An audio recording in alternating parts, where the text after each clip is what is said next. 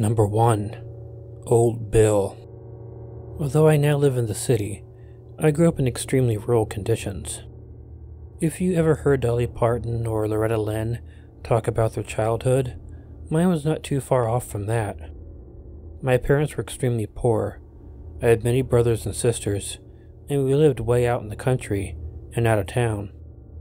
Dolly Parton was the first person to come to mind because of my relationship with an old man that lived in a shack even further out in the country than us. Our house was on the road, but to get to old Bill's house, you would have to walk through the woods.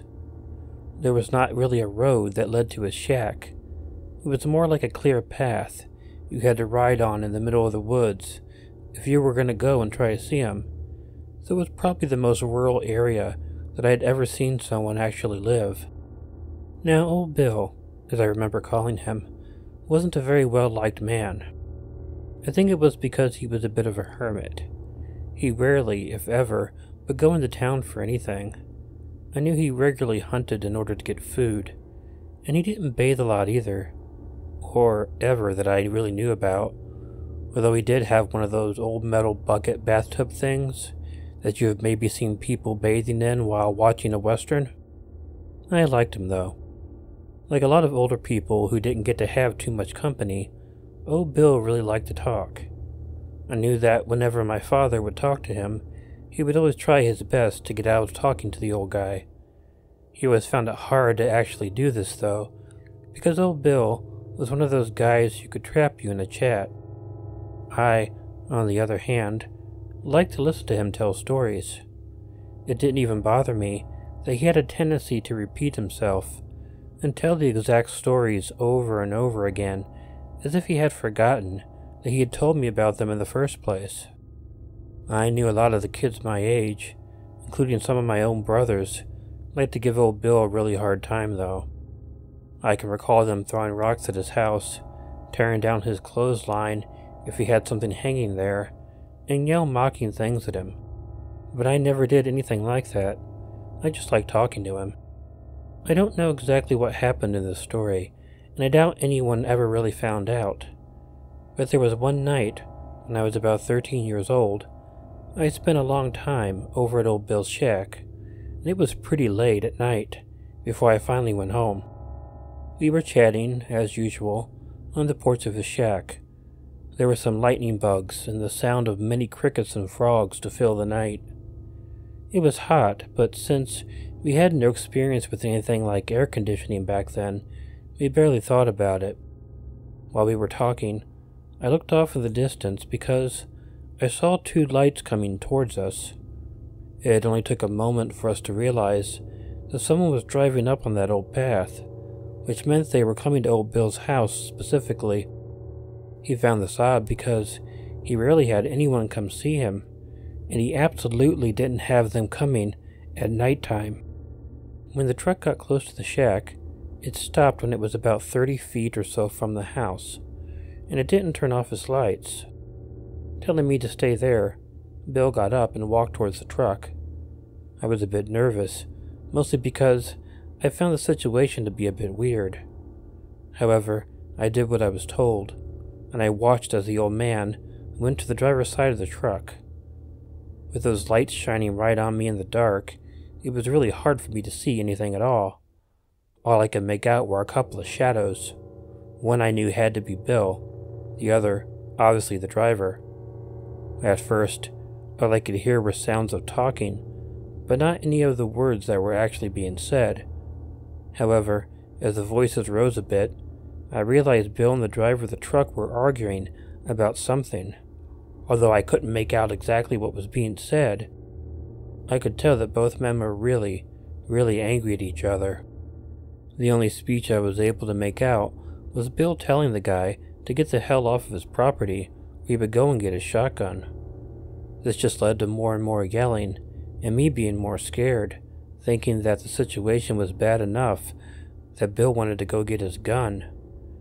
As I stood there wondering what to do, I suddenly heard a gunshot it was followed by some terrible noises that I really can't describe, and then a man that I still couldn't make out the details of walked in front of the truck. He was standing right in the light of the headlights, and he was obviously looking in my direction. I was scared because I assumed that Bill had been shot, and that this guy was the guy who had shot him. I suspected for what seemed like a never ending moment that he was going to shoot me. I don't know how long he stared at me while I was waiting for something to happen. It seemed like forever, but then I watched the man walk out of the light of the headlight, and the next thing I heard happened to be the sound of the truck door slamming, and then the truck began rolling out in reverse. There was no room to turn around, so it had to go in reverse the entire way out. When the truck was gone, I was finally able to make myself move. I ran out to the place where it had been parked and found old Bill's body. It was too late to do anything, though. He was absolutely dead. I didn't know what to do. I had never been in a situation like this before. My first thought was to try and move his body back into the shack, but he was too heavy for me to do that. So then, the only thing I could think of was to go home and tell my father what had happened. I hated leaving his body on the ground like that. I also hated walking through the woods after I had just been witness to a murder. I suspected that any moment the man might come back on foot in the woods and decide to kill me too. I was able to make it back home without incident though, and I told my father what had happened. Now, my father didn't care much for the old guy like most people, but he did care about me. He made me stay at home while he went and checked out what had happened. My dad was gone for a long time. When he got back, he let us know he had to drive to the town to talk to the police. We didn't have a telephone back then, but old Bill was certainly dead, and they had absolutely no idea who killed him. It was a horrid experience. It made me scared of the countryside for the rest of my life. I still don't go out into the country anymore. That is why I live happily in the city. Yeah, you can get killed in the city too. At least I never watched anyone get killed in the city before, though. To my knowledge, his murder was never solved. My parents are gone, and they never updated me if something had been found.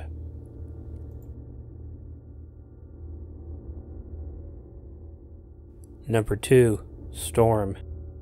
One of the most anticipated moments of my life eventually became one, if not the most scary, experiences of my life. You've likely heard about people who graduate from high school or college and they go and they backpack through Europe. I was always intrigued by the idea, but I really didn't want to go through Europe. However, I had seen a lot of movies that had taken place in California with people driving up and down Highway 1. So, seeing areas on screen such as Big Sur and the others, I decided to backpack down the coastline of California on the Pacific Ocean. I had always been fascinated with the coast of California. It was so interesting to have the ocean and the mountains right by each other. I know a lot of people think of California and they automatically think of places like San Francisco and LA, but the state has a lot of beautiful countryside as well. I began in the north and then been walking south.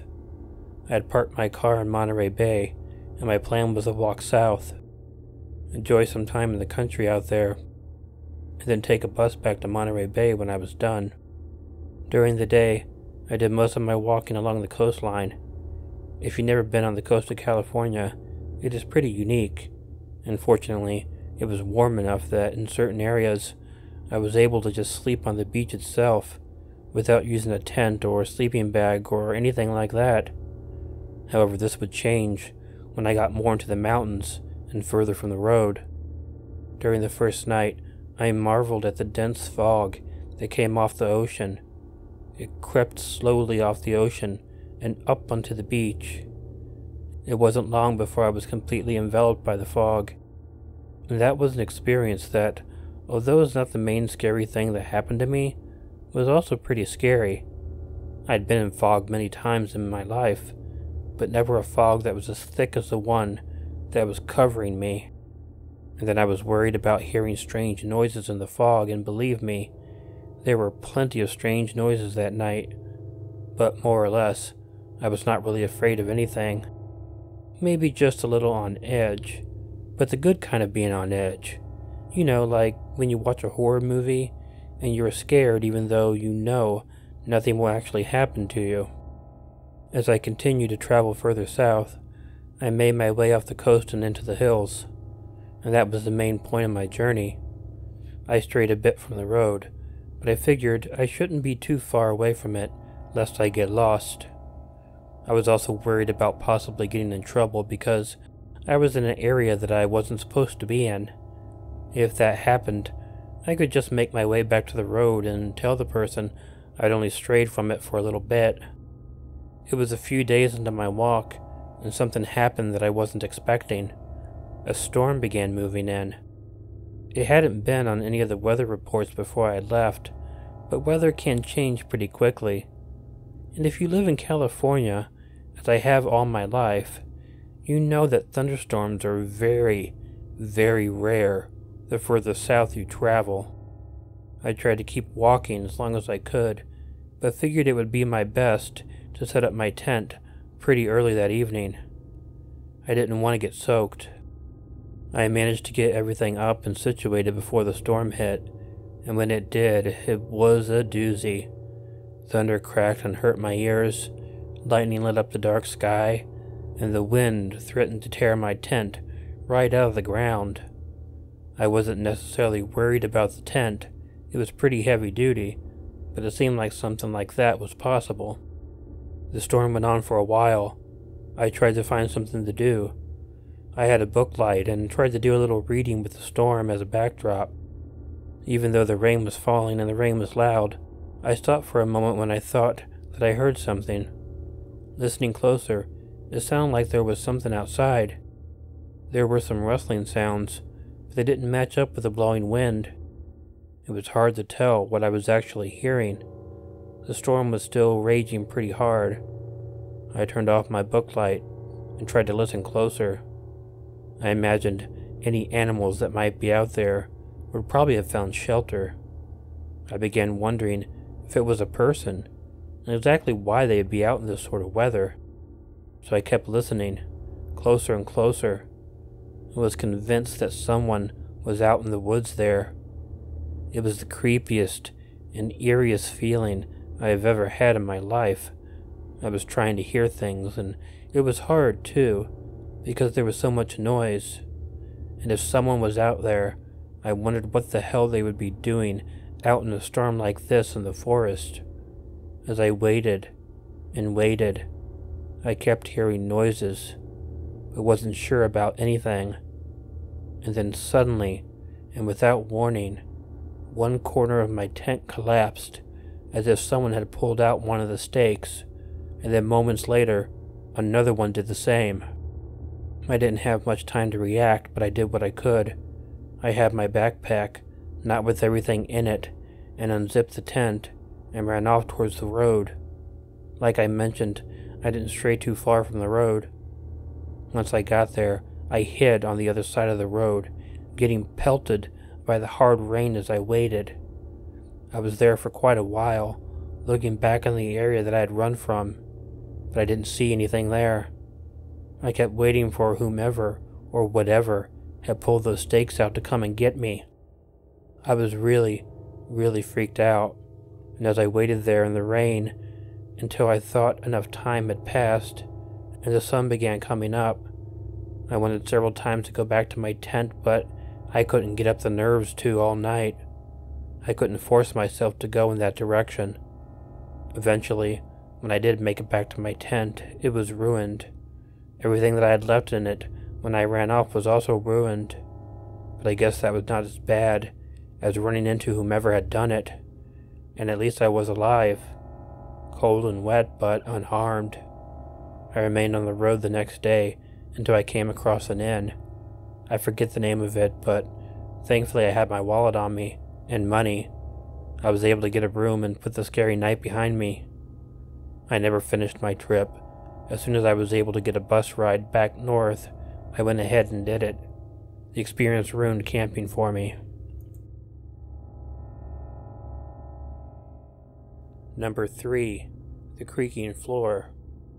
When my maternal grandmother lived in Corinth, Mississippi, my family used to drive to go and see her. It was about 100 miles from where we lived in Memphis, Tennessee. We always knew we were getting close to the old house, because of the kudzu growing up on the hillsides on either side of the highway. As the years went by, the kudzu would grow so thick it had to be cut back on a regular basis. My grandfather had built a house for my grandmother when they got married. He built it on a hill that gradually sloped down to meet an old two lane highway. I never knew my grandfather. He had passed away long before I was born. Though back then, you could still see all the things he made and feel his presence everywhere you went. When we would drive up the long gravel lane, the first thing we would see was a huge wooden porch he had built for her and this giant porch swing that hung on the end closest to the driveway. The porch swing was so big it could accommodate either four adults or seven squeaking, squirming little brats at the same time. There was never any danger about the swing breaking or falling apart because my grandfather had made it to be strong. Even the chance tornado, and there were many in that part of the country, couldn't tear it off its rafters that it was attached to. As a little girl, I remember sitting on that gray painted porch swing with my brothers and sisters. It would always take us some time to get everyone to stop fighting or fussing long enough to swing in together. But once we achieved that, the soft swaying and creaking of the iron chains and the hangers would lull some of us young ones to sleep. I was what the adults used to call a middle child, which meant neither too old nor too young, neither too popular nor too shunned. In my case, however, this turned out to be different once I became, at the age of nine, a type 1 diabetic. Then I was promoted to a favored status and kept close to my mother. Because my illness required constant attention, she was always at the ready and over time became my closest friend. As soon as the family car would slow down on its approach to the house, and before it even came to a complete stop, we were out of the car, onto the porch, and to my grandmother. After that, we were allowed to frequent our special places. My eldest sister loved the pear trees grandfather had planted years before, and depending upon the season, laden with pears. By then, the black walnut trees would have dropped their green, walling saturated hulls containing the hard inner shell, with the scant nut inside that the fox and gray squirrels would go crazy for. For me, it was the apiaries. When the wind was just right, I could smell the bees and their honey. Rich, fecund, and sweet. I've never been big on eating honey, however. It was the bees, along with my grandmother, that I came to visit.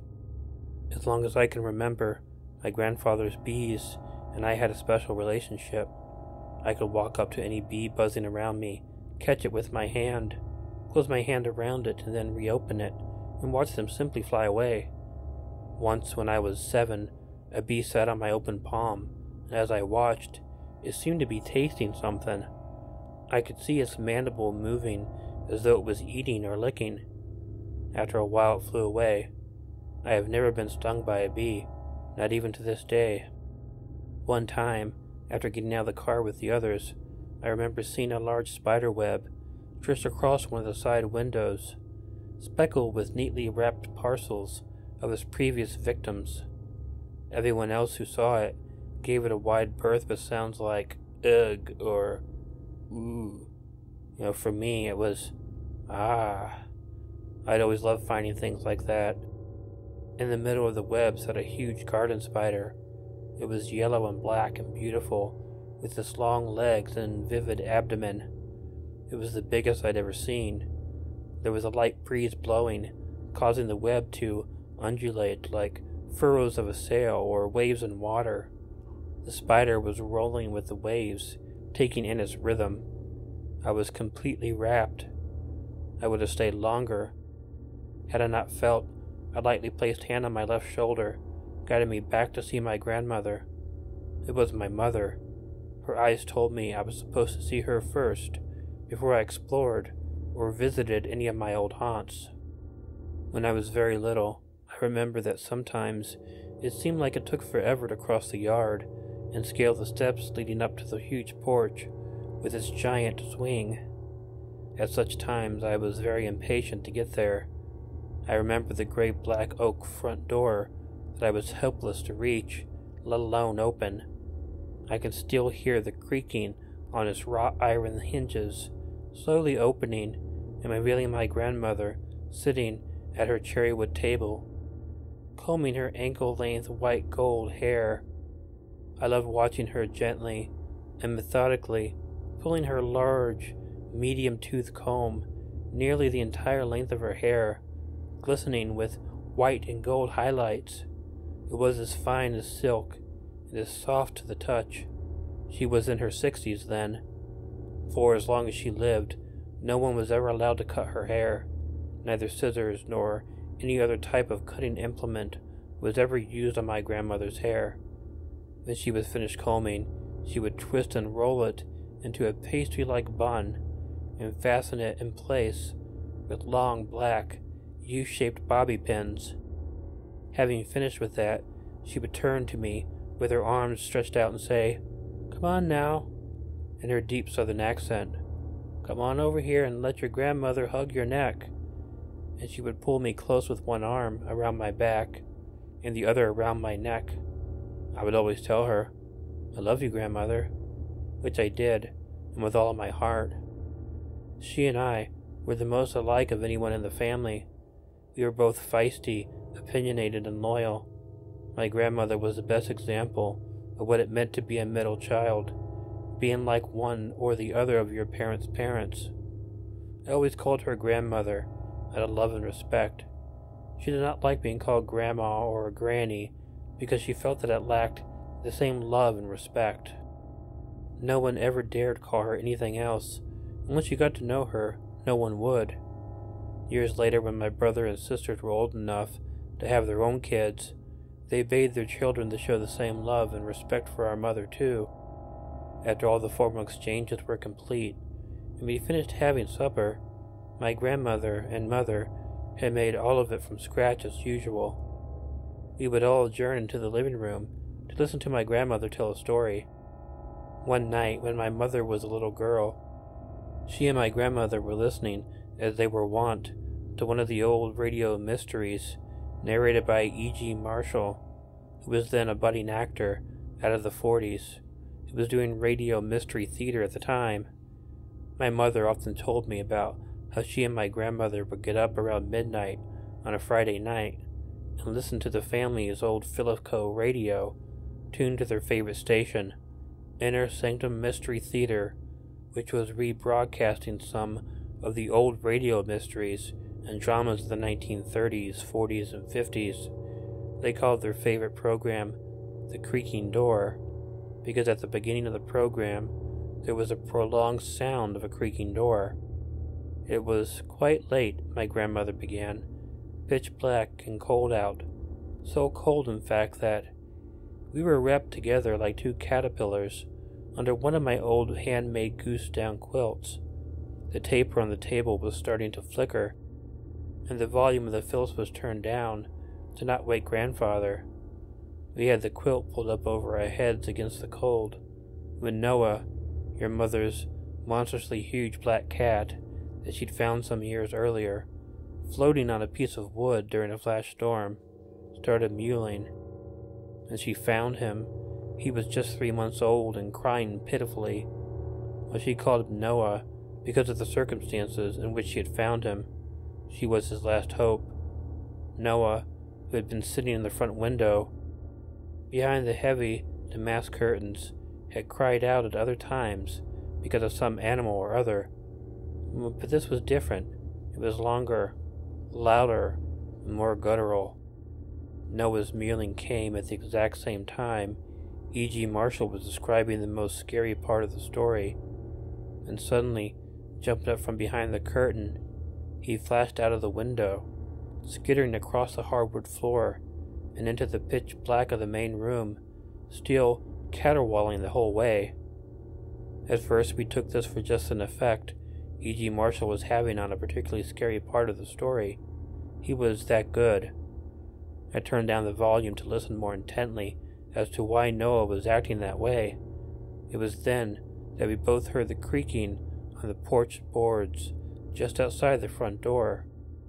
Because the old house had long settled, whenever little creaks or sounds I had heard all over the years we lived there were only too familiar. No, this was different. In the country at night, unless there was a storm, there was always this blessed quiet that enabled you to hear just about everything. Why it was so quiet, my grandmother intoned. Some of the old folks say you could hear a mouse pooed at fifty yards. We all busted out laughing at that, and she went on. Silently, I put out my hand for your mother to get her father as quietly as possible. Waiting, I heard nothing more. After a bit, your mother and grandfather came in, as quiet as church mice.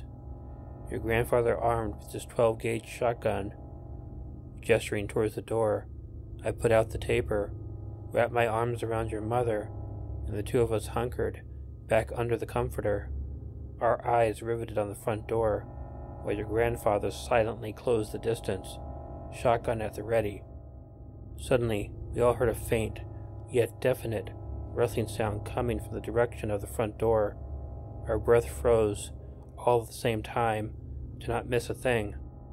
With the deftness of a mountain lion, your grandfather cracked the front door just wide enough to thrust the 12 gauge shotgun towards the sound, and after what seemed like an eternity, let go, both barrels at the same time. There was an immediate heart stopping shriek, followed by a blood curdling howl. It still sends tremors through me every time I think about it. Of course, after the shot awakened the entire household, all your aunts and uncles as well as your mother were told to go back to their rooms, and none of them ever did find out until much later what the circumstances of that night turned out to be. Naturally, because there was a shooting, there was a trial, and your grandfather had to go to court. The story he told was pretty much as I described it to you about being woken up by your mother to the sound of someone or something outside the front door. But according to your grandfather, Noah, your mother's cat, had not just gone into the dark of the main room after he bolted out from the window. He had gone straight into your grandfather's room to wake him up. Noah had done the same thing on other occasions because of something or other the cat had perceived was amiss outside. And your grandfather had taken up his trusty shotgun during those times too, and checked all the doors and windows, but didn't find anything. Your grandfather thought this was probably the same thing again. You've all heard about the boy who cried wolf. Well, in this instance, it was almost a case of the cat who cried human. But for me and your mother, being up at the same time, and confirming to your grandfather that we'd heard the noises as well. Anyway, your grandfather testified that there was a moon, not a full moon, but enough light for him to see a creeping figure crouched down like some animal, low to the ground and moving, slowly and menacingly, across the lawn and towards the front steps of the porch that led to the front door of the house. At first, your grandfather told the court it looked like a large black dog. It appeared to be on all fours like a dog, as it stealthily scaled the front steps onto the porch. When he realized it wasn't a dog after all, he got his shotgun ready and opened the door more widely, enabling him to stick the barrel out and point it at the figure. Apparently, the judge and the jury liked that part of the story. All of us oohed and awed in total agreement. Earlier, your grandfather told the court that when he got his shotgun, Noah was sitting on the old four poster bed, licking his sleek black fur, as though he was content with your grandfather's decision to get his gun and make sure his family was safe. He told the court that just before he went to confront whatever was out there, he momentarily stroked the top of Noah's head, down his back, all the way to the end of his tail, as though to say, Thanks, Noah, for letting him know, my grandmother opined. In both meanings of the phrase, Noah purred his approval. After that, he told the court, he set out for the front door as quietly as possible and met your mother along the way. He put his huge hand on the top of her head as though to say, Everything will be all right, daughter. He told the judge and the jury, with all the intent of a Clarence Darrow, that I had remained silent during the whole ordeal, knowing that I was behind him all the way. He said that with my tacit approval, he knew he could proceed, confident that everything would turn out all right. He told me with his just brilliant black eyes that we would talk about it more later. Before he opened the door, he looked out the side window and saw what looked like a dark shadow moving across the lawn towards the porch and the front door. When he cracked the door just enough to peer through the slit, the wind suddenly picked up, obscuring any sound made by either the thing on the porch or your grandfather opening the door. With the breeze, the porch swing creaked slightly. The shadow that was moving furtively across the wide porch stopped momentarily, still unaware of your grandfather's presence. When your grandfather opened the front door a bit more, the figure had moved onto the front porch. The wind pushed its way through the larger slit, forcing the door to open even wider, causing an inadvertent yet discernible creak of the hinges. Sensing something, the assailant stopped, and then abruptly backed up towards the stoop. After some seconds, it moved again, as if to say it had heard nothing at all. Seeing all this from your grandfather's vantage, he knew that this would probably be his last chance to deal with the would be intruder, and fired both barrels at the figure. It rose up, screaming from the top of its lungs, and keeled over, still howling on its back and it began writhing like some horribly deformed half human spider. When the sheriff arrived, my grandfather told the court their flashlights revealed a man wearing overalls lying in a pool of blood, a full gas can nearby, and a match in his open hand. He was alive but in shock. He lay there gasping but afterwards passed out. Based on the condition of his private parts, it was surmised that the reason he lost consciousness probably had at least as much to do with the loss of blood and the sheer pain of being shot at point blank range with both barrels of a 12 gauge shotgun as the realization that he no longer had his male equipment and could never have it again. He had, as my grandmother described it, been fixed, neutered, and the shock of it, along with all the rest, probably caused him to wish that he was dead and blacking out was about as close to death as he could get at the time. She went on. Despite the near life threatening goriness of the wound, your grandfather would later be acquitted because of the priors associated with this monster's comings and goings, as it were, into other people's homes and other people's lives. Before us, he had been doing pretty much the same thing and getting away with it, resulting in assault, murder, and arson against those who were unlucky enough to have stayed asleep until he was already inside. Always afterwards, he would set the house on fire, killing any unwary occupants to cover his tracks. Our house was the third in that thing's reign of terror, and a few of his previous victims had survived, despite him, to identify him as the culprit. My grandmother finished with, If it hadn't been for Noah, your grandfather, me, and your mother, he might have done the same thing to us, and some of you might not even be here right now for me to tell the story to. All of you should think about that now. Hmm? My mother and grandmother never got to finish listening to the radio show that eventually turned into a real life scary story all on its own. It probably didn't even cross their minds that the creaking door for them was not the one with the hinges, but floorboards that could have led to the grisliest consequences for all of us present. Still listening with rapt attention to my grandmother's poignant and timely story. As for the villain, he apparently survived, though not much could be said for his love life going forward. My grandfather's description to the judge and the court of what he thought was a rabid dog was more than enough to get him an acquittal and conclude for all involved victim and hero alike, that this was not merely luck, but more of an example of universal justice. God, if you were, who happened to be making his rounds like Santa Claus giving out presents.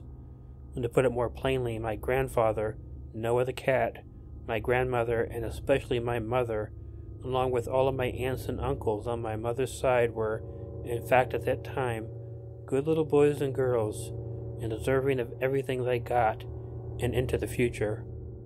You might say it was kind of a happy ending had by all, especially those sympathetic enough to learn from the experience or wise enough to never forget.